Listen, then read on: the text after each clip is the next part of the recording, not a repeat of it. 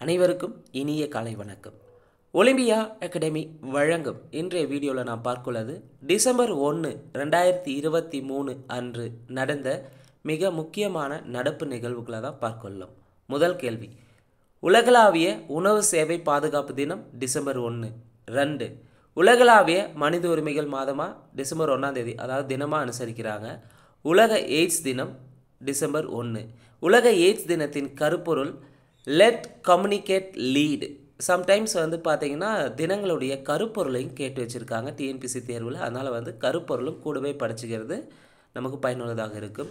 உலக எய்ட்ஸ் தினம் டிசம்பர் ஒன்று ரெண்டாயிரத்தி இருபத்தி மூணுக்கான உலக எய்ட்ஸ் தினத்தின் கருப்பொருள் லெட் கம்யூனிகேட் லீட் அதாவது ரெண்டாயிரத்தி முப்பதுக்குள்ளே பார்த்தீங்கன்னா ஹெச்ஐவி தொற்று இல்லாத தமிழகத்தை உருவாக்க இலக்கு நிர்ணயித்திருக்காங்க.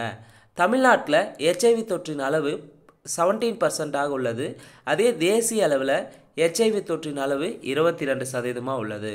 உலக எய்ட்ஸ் தடுப்பு விழிப்புணர்வு தினம் டிசம்பர் ஒன்று இதை பார்த்தீங்கன்னா கருப்பொருள் என்னென்னு பார்த்தீங்கன்னா சமூகங்களுடன் இணைந்து செயல்பட்டு ஹெச்ஐவி எய்ட்ஸ் தொற்றை குறைக்கும் செயலை முன்னெடுப்போம்.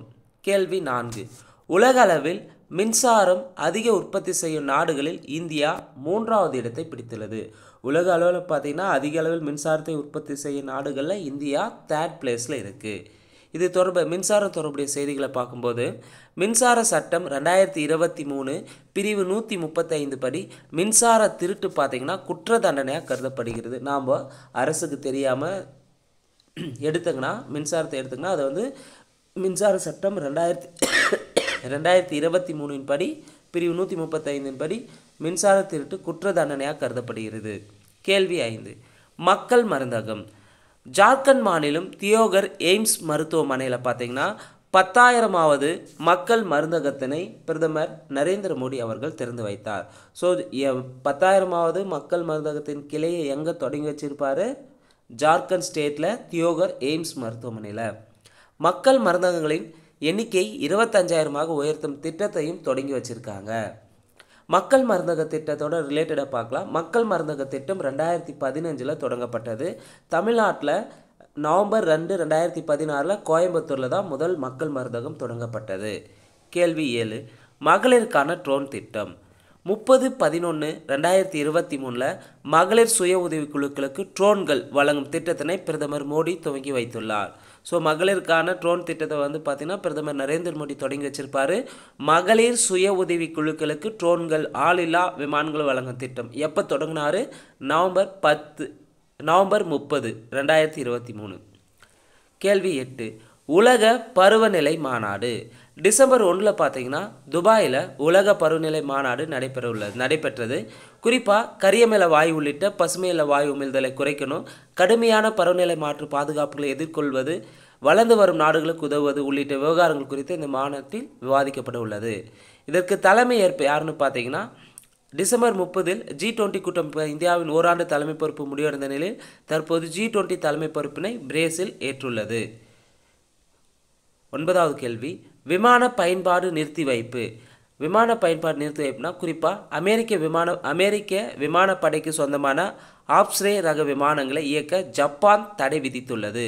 எட்டு பேருடன் சென்ற விமான விமானம் பார்த்திங்கன்னா கடலில் விழுந்து விபத்துக்குள்ளானதை தொடர்ந்து ஜப்பான் நாடு இந்த இந்த விமானத்தை வந்து தடை செஞ்சுருக்காங்க. அடுத்து திஷா நாயர்.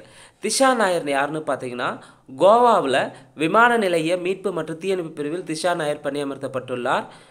விமானங்கள் மற்றும் விமான நிலையங்களில் ஏற்படும் தீ விபத்துக்களை அணைக்கும் பணியில் ஈடுபடும் நாட்டின் முதல் பெண் தீயணைப்பு வீராங்கனை என்ற பெருமையை பெற்றுள்ளார். நிச்சயமாக இந்த கேள்வி எதிர்பார்க்கலாம். நடப்பு நிகழ்வுகளிலிருந்து கண்டிப்பாக முதல் முதன்மையான பெண்மணிகள் முதன்மையான நபர்களில் வந்து கண்டிப்பாக எதிர்பார்க்கக்கூடியது. அப்போது விமானங்கள் மற்றும் விமான நிலையங்களில் ஏற்படும் தீ விபத்துக்களை அணைக்கும் பணியில் ஈடுபடும் நாட்டின் முதல் பெண் தீயணைப்பு வீராங்கனை என்ற பெருமையை பெறுபவர் யார்? திஷா நாயர். அடுத்து பொருளாதார வளர்ச்சி ரிலேட்டடாக பார்க்கலாம். ரெண்டாயிரத்தி இருபத்தி மூணு இருபத்தி நாலு நிதியாண்டின் ஜூலை செப்டம்பர் வரையிலான காலாண்டில் பார்த்தீங்கன்னா இந்தியாவுடைய ஜிடிபி ஏழு புள்ளி ஆறு சதவீதம். இந்தியாவுடைய ஜிடிபி பார்த்தீங்கன்னா ரெண்டாயிரத்தி இருபத்தி மூணு இருபத்தி நான்கு நிதியாண்டில் ஜூலை செப்டம்பர் காலாண்டில் இந்தியாவினுடைய மொத்த ஜிடிபி வந்து பார்த்திங்கன்னா ஏழு புள்ளி ஆறு பர்சன்டேஜ் வளர்ச்சி கண்டதா என்எஸ்ஓ சொல்லியிருக்காங்க. நேஷனல் ஸ்டாட்டிஸ்டிக்கல் ஆர்கனைசேஷன் தேசிய புள்ளியியல் அலுவலகம் தெரிவித்துள்ளது. அடுத்து பன்னிரெண்டாவது கேள்வி. நூல் வெளியீடு. காங்கிரஸ் தலைவர் பார்த்தீங்கன்னா மல்லிகார்ஜுனா கார்கேவின் வாழ்க்கை வரலாற்று குறிப்பிடும் நூல் வெளியிடப்பட்டுள்ளது. அந்த நூல் பெயர் என்னன்னு பார்த்தீங்கன்னா Mallikarjun Kharge political engagement with compassion justice and inclusive development இதை எழுதியவர்கள் சுகதேயா தோரட் மற்றும் சேத்தன் ஷிண்டே. மாநில மீனா. குறிப்பாக வந்து பார்த்தீங்கன்னா குஜராத் மாநிலத்தில் தங்க பழுப்பு நிறத்துடன் காணப்படும் கோல் மீன். தங்க பழுப்பு நிறத்துடன் காணப்படும் கோல்ட் மீன் வந்து பார்த்திங்கன்னா குஜராத் மாநிலத்தின் மாநில மீனாக அறிவிக்கப்பட்டது. இந்த பார்த்திங்கன்னா இந்த கோல்ட் மீன் வந்து குஜராத் மற்றும் மகாராஷ்டிரா கடற்பகுதியில் காணப்படுகிறது. அடுத்து ஆளுநர் எதற்கு ஒப்புதல் தந்திருக்காருன்னு பார்த்தீங்கன்னா ஜார்க்கண்ட் ஸ்டேட்டில் போட்டித் தேர்வுகளில் முறைகேட்டில் ஈடுபட்டவர்களுக்கு ஆயுள் தண்டனை வழங்குகின்ற மசோதாவுக்கு ஜார்க்கண்ட் ஆளுநர் சிபி ராதாகிருஷ்ணன் ஒப்புதல் அளித்துள்ளதால் மிக முக்கியமானதாக இருக்குது போட்டித் தேர்வை பொறுத்தவரையும் நாட்டில் வந்து நிறைய இடத்துல வந்து முறைகேடுகள் நடருக்கு அந்த முறைகேடுகளை தடுக்கின்ற பொறுத்தில் பொறுத்து ஜார்க்கண்ட் ஸ்டேட்டில் பார்த்தீங்கன்னா போட்டித் தேர்வுகள் ஏதாவது ஆள் மாறாட்டம் செய்கிறது இல்லை பிட் அடிக்கிறது காப்பி பண்ணுறது இல்லை எலக்ட்ரானிக் அந்த மாதிரி யூஸ் பண்ணி கண்டுபிடிச்சா அவங்களுக்கு ஆயுள் தண்டனை வழங்குவதற்கான மசோதா வந்து ஒப்புதல் தந்திருக்காங்க. அடுத்து கேள்வி பதினைந்து. மிக்ஜாம் புயல். ஸோ மிக்ஜாம் புயலை பொறுத்தவரையும் பார்த்தீங்கன்னா இந்த மிக்ஜாம் புயல் வந்து தமிழகத்தில் குறிப்பாக வங்கக்கடலில் உருவாகியிருக்கு. இப்போ சமீபத்தில் டிசம்பர் ஐந்தாம் தேதி வங்கக்கடலில் இன்றைக்கு முற்பகல் வந்து கடகுன்னு சொல்லியிருக்காங்க. ஆந்திராவில் குறிப்பாக வந்து பார்த்திங்கன்னா ஆந்திரா பகுதி கிட்ட கிட்டத்தட்ட ஒரு பன்னிரெண்டு ரெண்டுலேருந்து அந்த முழுமையாக கடக்கக்கூடும் சொல்லியிருக்காங்க. இந்த மிக்ஜாம் புயலுக்கு வந்து பெயர் வைத்த நாடு எதுன்னு பார்த்தீங்கன்னா மியான்மர். மிக்ஜாம் புயலுக்கு பெயர் வைத்த நாடு எது? மியான்மர். கண்டிப்பாக எதிர்பார்க்கலாம். நிச்சயமாக வரக்கூடிய குரூப் ஒரு எக்ஸாமாக இருந்தாலும் சரி அல்லது டிஎன்பிசி தேர்வு நடத்தக்கூடிய வெவ்வேறு தேர்வுகளாக இருந்தாலும் சரி கண்டிப்பாக இந்த மிக்ஜாம் புயல்கள் புயல்கள் ரிலேட்டடான ஒரு கேள்வி நிச்சயமாக இருக்கும். இப்போ மிக்ஜாம் புயலுக்கு பெயர் வைத்த நாடு எது? மியான்மர். அடுத்து கரிகால சோழன் விருது. கரிகால சோழன் விருதை பொறுத்தவரையும் வெளிநாடுகளில் வாழக்கூடிய தமிழ் எழுத்தாளர்களுக்கு கரிகால சோழன் விருது வழங்கப்படுகிறது.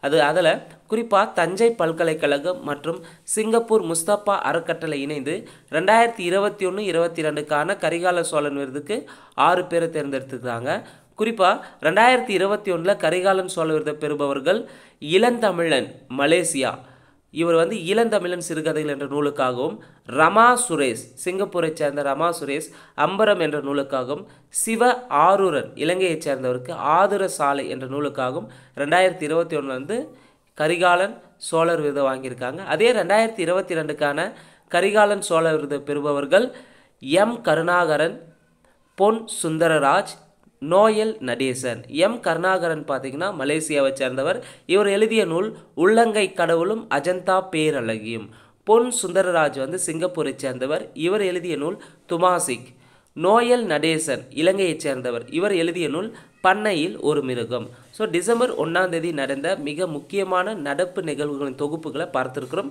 நிச்சயமாக இந்த வீடியோவில் இருக்கக்கூடிய கண்டிப்பாக ஒரு கேள்வியில் நான் ரெண்டு கேள்வி வரக்கூடிய டிஎன்பிசியில் நிச்சயமாக எதிர்பார்க்கலாம். அதனால் வீடியோஸை முழுமையாக பார்த்து இன்ஸ் எடுத்து வச்சுக்கோங்க. கண்டிப்பாக உங்களுக்கு பயனுள்ளதாக இருக்கும். மேலும் இந்த வீடியோ பற்றி எதனா கமெண்ட் இருந்தால் மறக்காமல் கமெண்ட் செக்ஷனில் கமெண்ட் பண்ணுங்கள் நன்றி வணக்கம்.